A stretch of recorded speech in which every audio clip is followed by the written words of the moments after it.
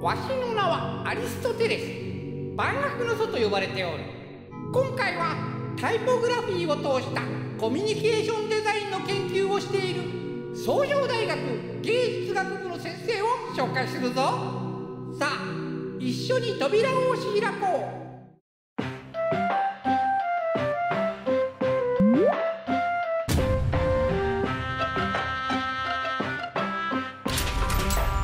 創業大学芸術学部デザイン学科の森野明人教授じゃ。一体どんな研究を行っているんじゃ？文字に関わる研究なんですけども、まあ、文字を作ったり、まあ、ページものとかポスターものの中でレイアウトをするっていうのをタイポグラフィーっていうんですけども、まあ、そのタイポグラフィーの新しい表現を、まあ、ここ40年近くやってます。えー、最近は空間のデザインの中で文字の表現だったり映像の中で動く文字だったり要はですね見る人にとってこう分かりやすい情報を発信するための道具として文字っていうのが、え、存在しててそれの視覚的な表現を追求するっていうのがタイポグラフィ、えー、だと思ってます何やら難しそうな話じゃが具体的にはどういうことをやっておるのじゃ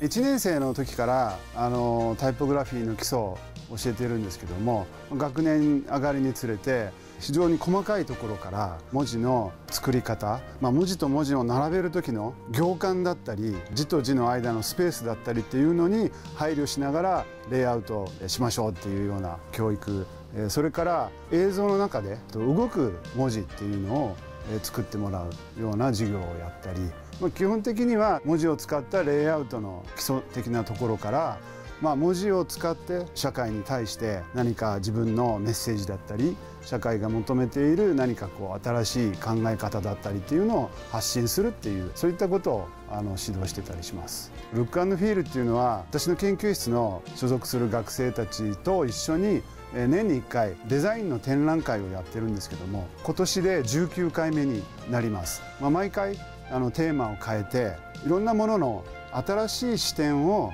展覧会に来てくれた人に気づいてもらおうということでタイポグラフィーを中心にしてるんですけども実はそれはコミュニケーションを円滑にするためのデザインということでコミュニケーションデザインの実験の場として展覧会を開いてるんですけどもその名前をルックフィールという名前にしてます。例えば、えっと、熊本市の講演家から依頼を受けて熊本緑の博覧会というのがあったんですけどもまあ、そういったところでのフォトブースのデザイン 5m×5m の中に、え、立体的なものを作るっていう作品だったり、まあ、その中でも文字表現っていうのを生かしたりそれから舞台美術の中で、まあ、プロジェクションマッピングを使ったり舞台の道具に対して音楽に合わせて切り替えられるような映像だったり演じる人のセリフに合わせて映像をこう動かしたりっていうようなプロジェクトもあのやってきました。今後の目標は？どう考えておるのじゃ？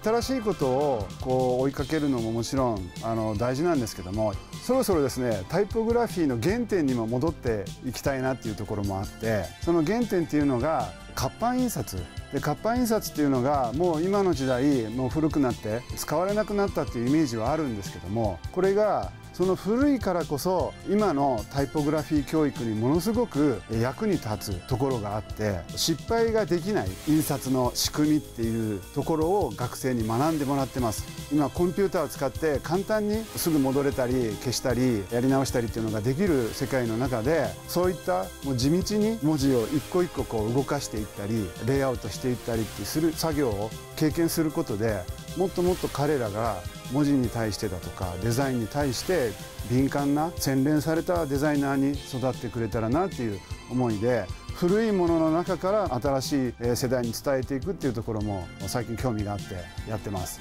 これからのま目標としてはグラフィックデザインの中で忘れられた技術だったり考え方だったり視点だったりっていうところをやはり新しい、えっと、世代の人たちに、えー、気づいてもらって彼らなりのなんかこう視点で、えー、新しい世界を築いていってくれたらなとは思ってます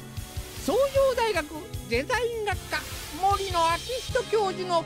これからの活躍がますます楽しみじゃ。